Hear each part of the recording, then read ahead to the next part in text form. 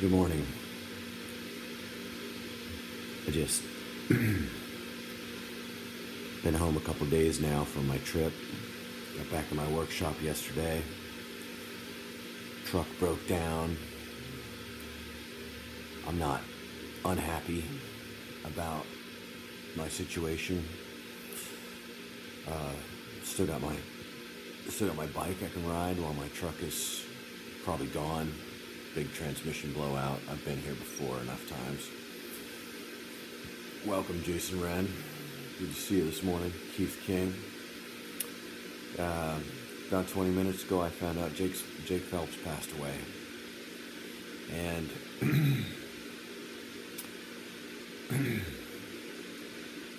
uh, morning.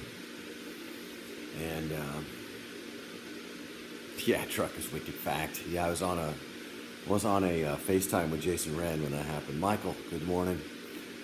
Uh, just found out Jake Phelps passed away. Um, didn't know yesterday. Good morning, Jason Schlager. Uh, don't like to do videos off the cuff. I got some water boiling over here, making myself some some Elevate Smart Coffee that I got from Jennifer Michelle Miller. Gonna enjoy a cup of that while we have our chat this morning. So, uh, one thing I don't like is capitalizing on events, but uh, I wanted to make a post in recognition of the fact that uh, Jake Phelps passed away. I uh, have seen Jake in action over the years, been openly, legitimately, and unregrettably crit- critical of Jake's professional deal and I've always been happy to hear that uh, close up and in person, there was a person there that had a real tender side, was a very sweet person at times. I think it's probably true of all of us. I will always remain openly critical of uh, Jake's legacy in skateboarding. He empowered the bully. He made it hard for many inner children to enjoy rolling on a skateboard. He enforced a culture of closed borders to uh, the ungifted, the fat, the feminine, and um, that's a bad professional legacy. Thanks be to God, there's more to a life than a professional legacy. That uh, every one of us, despite what we are publicly, we're we're something else privately, and uh, I'm so sad that Jake passed just yesterday, I was involved in a thread talking about a lot of Jake's bad behavior, and my I was my public words were, "I've got a hug for Jake," you know, no matter what. And I didn't know that he passed away yesterday. In fact, I don't even know if I did the timeline. I might have been saying it just in the hour before he passed away. And um, I'm. Uh, I'm, gutted. We're all gutted.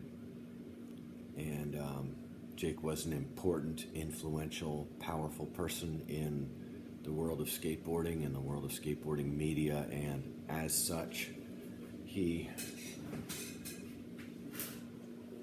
he held the keys of the kingdom and he closed those doors against a lot of people and he opened those doors for other people and uh, think one of the worst things we can do is uh, sugarcoat things and be anything but true in our, you know, sober assessment of life's shortness and each in our lives' impact.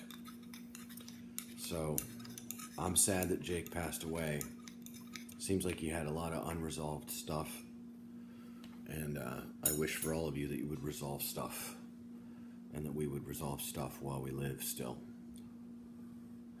Makes me think of uh, several people with whom I'd like to reconcile before I pass this earth.